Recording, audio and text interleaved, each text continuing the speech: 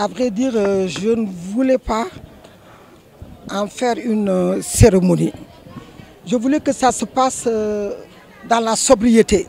Vous savez, au départ, comme il l'a si bien dit, on était à 1 million 200. Ça dépassait largement, largement, largement. C'est pas la peine, ça fait des millions quand même. Mais ça vaut le coup.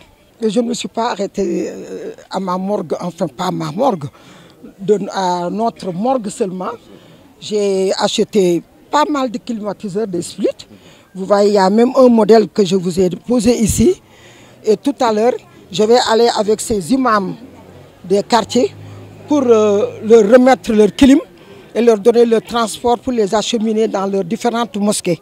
Et dès demain, je les envoie un technicien pour monter tous ces clips, Inch'Allah.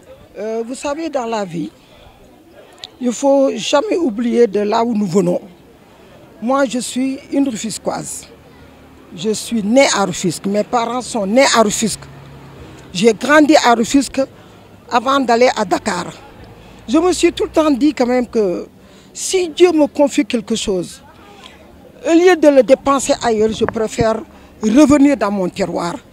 Parce que Rufisque, c'est ma fierté. Et vous savez que le gouvernement et la municipalité ne peuvent pas tout faire. C'est nous, les natifs de Rufisque, qui doivent travailler pour notre cher Rufisque. Rufisque faisait d'ailleurs euh, de- de- faisait partie des quatre communes du Sénégal. Donc quelque part, Rufisque avait sa place. Mais aujourd'hui, regardez comment Rufisque est devenu. Je ne peux pas dire qu'il y a un laisser-aller, mais il faut que nous fassions tout pour nous rassembler, nous unir davantage et refaire Rufisque.